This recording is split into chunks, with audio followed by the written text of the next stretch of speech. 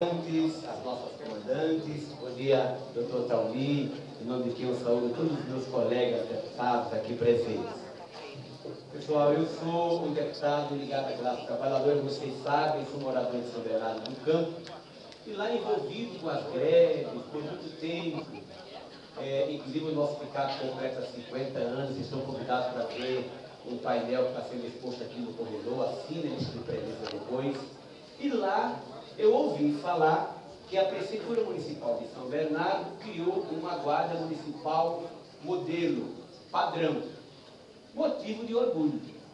E aí, de repente, no sindicato começaram a me procurar, eu senti, eu não aguento mais.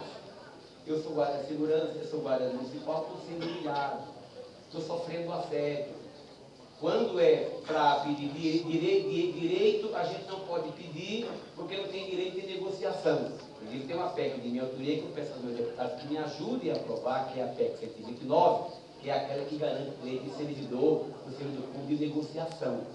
Mas quando a gente faz greve, diz que não pode, porque nós somos militares. Nós não somos militares.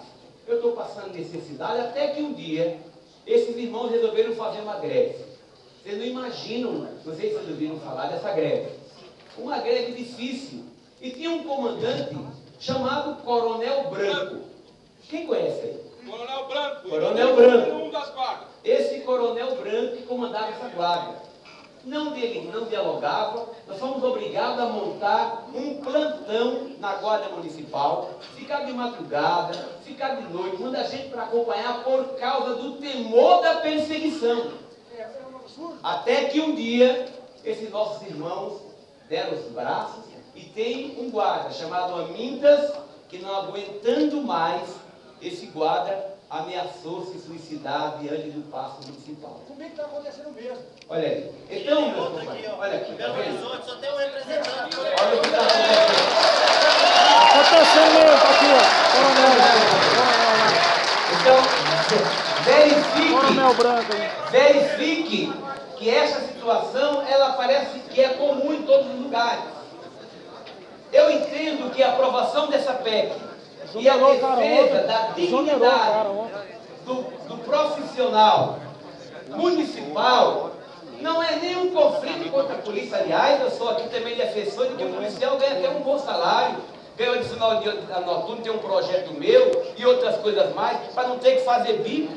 Mas é preciso que a cúpula entenda que esta organização é a mais próxima da comunidade, é a que tem os seus direitos.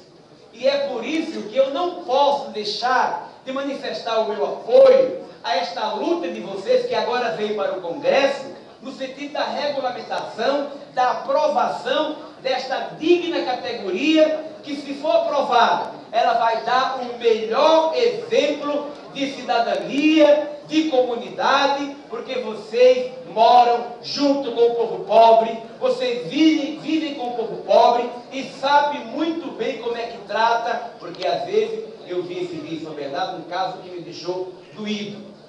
Um caso, tudo bem que isso não é orientação da polícia, mas um jovem que chega apenas a dizer, olha, eu não, eu chega no mercado, entra, pede identificação, ele não dá e já é jogado dentro do se fosse um bandido, a guarda não tem essa orientação.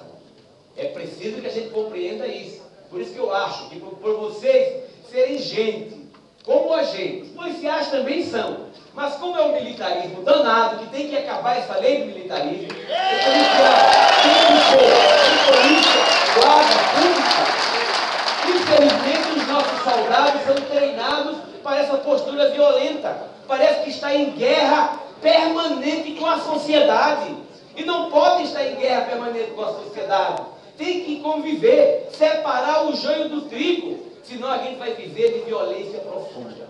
É por isso que a nossa guarda, hoje, sob o comando de um civil, o Benedito Mariano, que é muito respeitado, a guarda está muito feliz com ele, porque ele dialoga, discute, em homenagem à guarda de São Bernardo. É homenagem ao Amitas que quase perdeu a vida, só não perdeu porque errou o tiro, graças a Deus. Quase perdeu a vida, estou aqui para dizer que estou com vocês até o fim.